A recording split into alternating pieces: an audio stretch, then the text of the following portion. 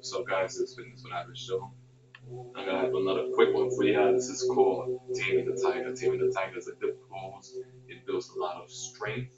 It builds a lot of will, and most importantly, it builds a lot of discipline. And we all need a little bit of discipline in our life to acquire the things we want to have.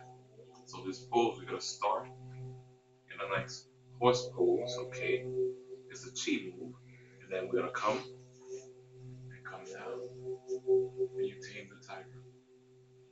Keep your weight in the middle, not too low, not too high, but center. And breathe from the hands. And breathe in the pose. Come up slowly. Come back to horse. Opposite side. Come down. Taming the tiger. And hold. Breathe from the hands. Breathe from the earth. Feel the energy surrounding you.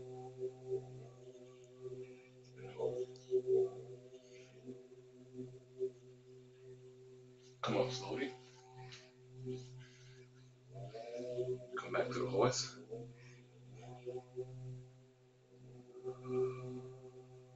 Get the energy out. Bring it up one more time.